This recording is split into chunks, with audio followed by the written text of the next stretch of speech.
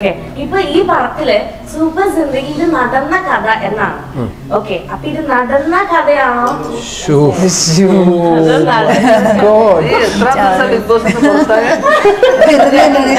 നടന്നല്ലോ കിടന്നല്ലേ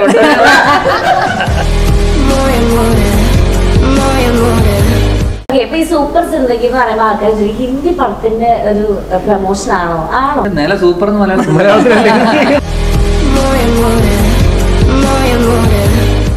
കൽക്കി കണ്ടില്ല. കൽക്കി കാണുമായിരുന്നു ത്രീ ഡിയിൽ കൽക്കി നല്ല ഇതായ? അയ്യോ അങ്ങനൊന്നും അല്ല. റിലീസായോ?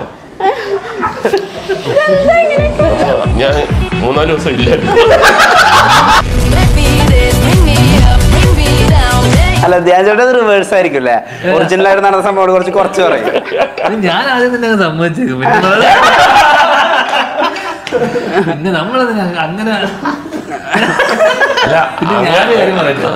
ഞാൻ ഇങ്ങനെയുള്ള കൂട്ട് സുഹൃത്തുക്കളോട് അധികം നേരം ഇരിക്കാറില്ല.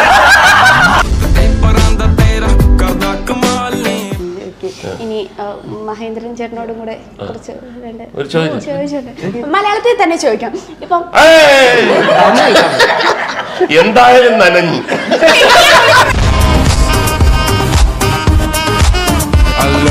പറഞ്ഞപ്പോഴേ പെട്ടെന്ന് പറഞ്ഞു മുകേഷ് മുകേഷ് ചെയ്യേണ്ടത് വേറൊന്നുമില്ല.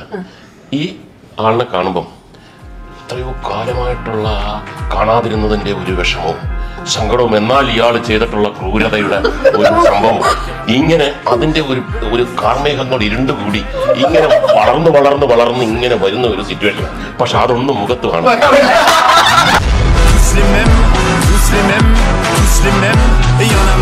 എങ്ങനെയുണ്ട് മലയാളത്തിൽ ധ്യാൻ ശ്രീനിവാസന്റെ കൂടെ ആക്ട് ചെയ്യുമ്പോ?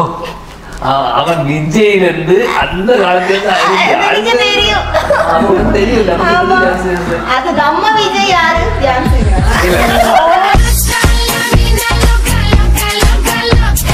നിങ്ങൾ ഇത്രയും പേരും കൂടെ ചേർത്ത് ഒരു സിനിമ നമ്മൾ എടുക്കുമെന്ന് വിചാരിച്ചു ഉം. അതില് കുറച്ച് ക്യാരക്ടേഴ്സ് ഞാൻ ക്യാരക്ടേഴ്സ് പറയാം അപ്പം അതിന്റെ ആരൊക്കെയാണ് ഏറ്റവും ആപ്റ്റ് എന്ന് നിങ്ങൾ ഇത്രയും പേര് പറയണം. ഞാൻ ഓരോരുത്തരോട് ചോദിക്കാം. എന്റെ ക്യാരക്ടേഴ്സ് നിങ്ങൾക്ക് മനസ്സിലാവും. അതായത് നമ്മുടെ മഹാഭാരതം. ഞാൻ പറഞ്ഞു ഞാൻ ഞാൻ ഞാൻ കൽക്കിയിൽ ബാഹുബലിയായിട്ട് അഭിനയിക്കും. ബാഹുബലി ഇല്ല. അല്ലേ? അയ്യോ കൽക്കി തന്നെയല്ലേ guys? കൽക്കി. മഹാഭാരതമാണെങ്കിൽ. ആ അല്ല മഹാഭാരതം ഒരു നമ്മുടെ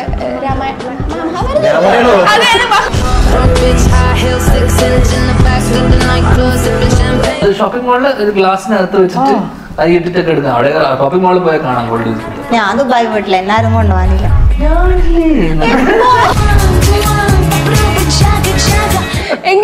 മുകേഷ് ഏട്ടൻ തന്നെ ഒരു കഥ പറഞ്ഞാട്ടെ. ഇത്രയും വർഷമായിട്ട് ഇൻഡസ്ട്രിയിൽ അഭിനയിച്ച് ഒരുപാട് എക്സ്പീരിയൻസ് കാണുമല്ലോ.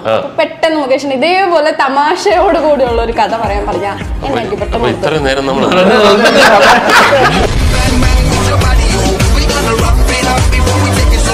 നമ്മളിവിടെ നീ അപ്പൊ ഞാൻ നീ എന്ന് വിളിക്കാം. നമ്മൾ പരിചയമുണ്ട് അല്ലേ നമ്മളിവിടെ പറയുന്ന സമയത്ത് നീ എന്ന് പറയാൻ പറ്റില്ല അപ്പോൾ ഞാൻ ആദ്യമായിട്ട് കാണില്ലേ. നീങ്ക. നീങ്ക.